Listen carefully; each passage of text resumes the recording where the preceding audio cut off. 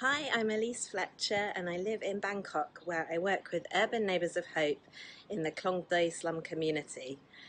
My link with St Andrews and All Saints in Malvern is through Alice and Dave Bruce and we are mission partners um, and enjoy visiting when we're back in the UK.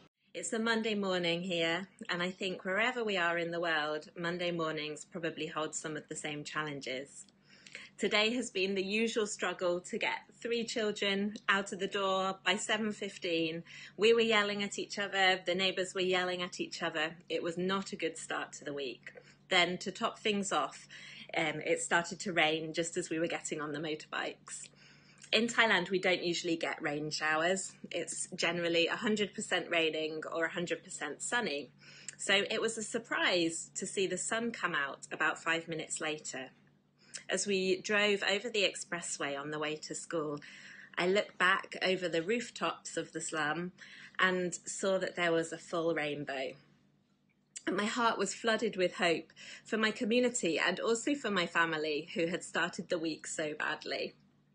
You see, God reminded me through the rainbow that it, He is not phased by our brokenness. He's not phased by our mess ups.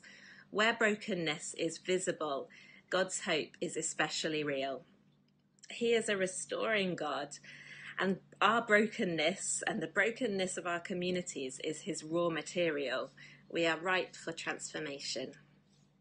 Brokenness is everywhere, but some of us mask it better than others. In this community, there is not the time, the privacy, or the resources to stage a cover up of poverty. The poverty in our hearts also becomes visible and that's been the journey of our last six years. I truly believe that encountering our brokenness is the doorway to healing. To grasp the hope of Jesus requires a downward journey. We can't avoid the depths of human pain and suffering.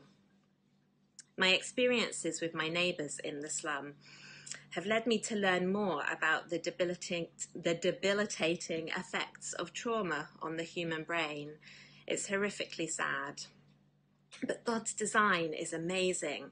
The most recent research shows that brain changes are all reversible.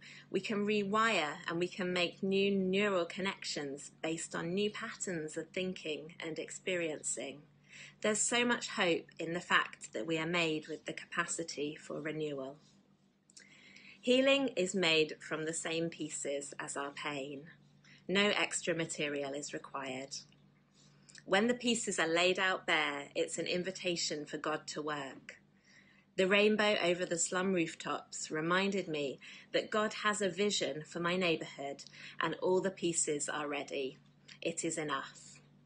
If hope feels distant or removed today, can I encourage you to lay out your broken pieces and invite God to create something starting there? Thank you.